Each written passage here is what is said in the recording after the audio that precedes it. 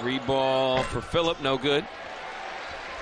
This is where Duke lineup so dangerous because they throw out one in, and it really is five guys on a, that can play on the perimeter. Mm-hmm. And then Filipowski's at the five, so when he goes into a ball screen, he's going to force you to switch, and if you don't, you're going to give up that.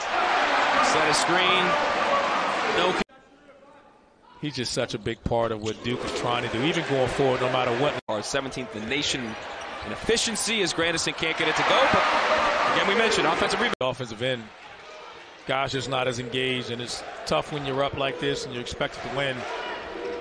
Duke build up a big lead, and doing what some young guys do, they get a big lead, they tend to relax, and just wanted to calm the guys down and remind them. Right out of timeout, good execution. Seven-foot freshman from Westtown, New York. Knocks that down. And there's a big difference, and teams get better or they stay the same. I mean, if you're not if you're a player and you're not in the gym, and obviously the coaching staff love that. It gives them a chance to work on themselves. But as a, as a player, you need to spend a lot of extra time during that break to get better and work on your game. Just something else to learn. Six on the group. Nope, and here's a turnover. He's got plenty of time. Plenty of time here. Filipowski will get it in. I was just super happy, very, very excited, and uh, it's been a hell of a weekend, guys.